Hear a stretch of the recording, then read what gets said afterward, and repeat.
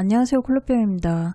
와 진짜 요새는 날씨가 좋았다가도 안 좋아지고 참 이상하긴 한 것 같아요. 얼마 전에 눈이 펑펑 내리던 날이 있었는데 이때 눈 오는 게 너무 예쁜 거예요. 그래서 찍어뒀는데 아마 이게 마지막 눈이 되지 않을까 싶은 거예요. 벌써 날씨가 엄청 따뜻해졌더라고요. 그래서 좀 아쉬운 마음에 어, 진짜 아쉽더라고요.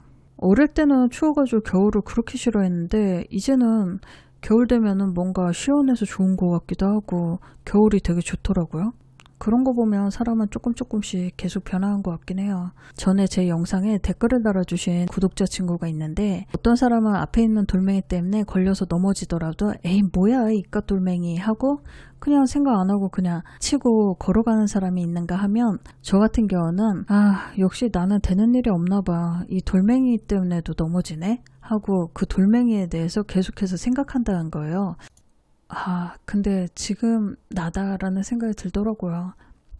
안 좋은데 초점을 두고 계속 거기에다 에너지를 쓰잖아요. 정작 나한테 중요한 일이거나 긍정적인데 에너지를 쓸 에너지가 없더라고요. 이미 지쳐버린 거예요. 그 안 좋은 일 계속 생각하면 사람이 되게 지치거든요. 힘들고 무기력해지고 저는 거기에다 모든 에너지를 다 쓰고 있었다는 생각이 드는 거예요. 요새는 안 좋은 생각이 들 때면 그냥 포트폴리오 만든다 생각하고 일을 하거나 내가 현재 가장 불안하게 생각한 게 뭔가 생각하고 그거를 해결하려고 실행을 한다던가 그것도 힘들다 하면 드라마나 뭐 애니를 본다던가 아 그것도 너무 힘들다 하면 그냥 약간 며칠 기다려주는 것 같아요. 그래도 우울해라. 저는 설날이 그랬던 것 같아요. 뭐 일단 감기가 들어가지고 더 사람이 좀 다운되긴 하더라고요.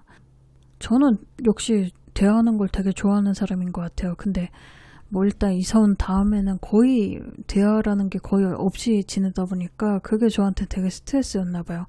그냥 내 속마음도 얘기하고 싶고 뭔가 이것저것 다 그냥 쓸데기 없는 얘기 하루 종일 얘기하고 싶은데 그게 없으니까 어 요새 너무 답답하더라고요. 저희 집 화장실에 샤워기가 있는데 어, 뭔가 물줄기가 너무 약한 거예요. 그래서, 아, 진짜 막 맨날 머리 감으면 항상 거품이 남아있고 막 그런 거 있잖아요. 호수도 사다가 이렇게 해봤는데 호수도 또 불량이 걸려가지고 삐죽삐죽 삐죽삐죽 물줄기가 다 새더라고요. 몇 번은 부품을 사다가 고쳐온지 모르겠어요. 샤워기 고치는데 그 몇 주는 정말 뭔가 되게 피곤했거든요. 근데 막상 샤워기가 잘 나오기 시작하니까 너무 좋은 거예요. 근데 환경도 비슷한 것 같아요.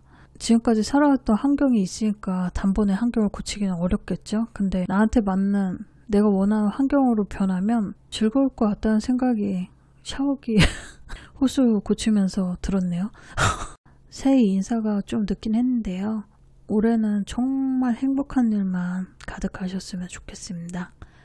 좋아요와 구독은 저한테 큰 힘이 됩니다. 안녕.